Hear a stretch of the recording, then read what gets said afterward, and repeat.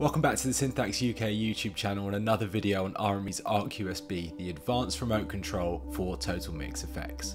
Alongside its large rotary encoder, the Arc USB features 15 user-definable buttons which can be customised to control a wide range of functions in TotalMix FX.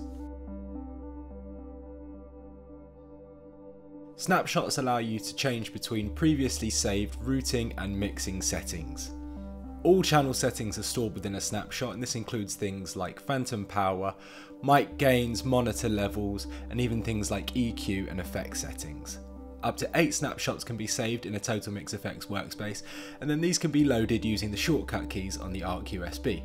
This is really handy for swapping between mixer states without the need for opening up the TotalMix FX window.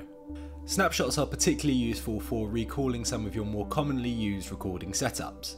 This is particularly useful for using lots of microphones that require phantom power, or for changing many channels from microphone to instrument, separating stereo pairs into mono channels, and even for just adding your favourite EQ settings. To save a snapshot in Total Mix, simply click on Store under the Snapshot section and choose one of the available slots.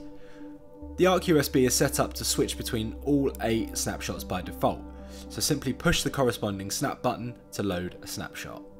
Don't forget to save the name of your snapshot for future reference. And it's also really good practice to make sure that you're saving your workspace so that all of your snapshots can be recalled at a later date. Finally, snapshots and the Arc USB are a really great way of being able to set up Total Mix for specific tasks. Now this could be for online collaboration with Skype or Zoom, or for if you want to live stream using apps like OBS or Streamlabs. Once you've set up TotalMix FX for video conferencing or live streaming, it's as simple as saving the snapshot and you'll be able to switch between your studio and video setups at the click of a button.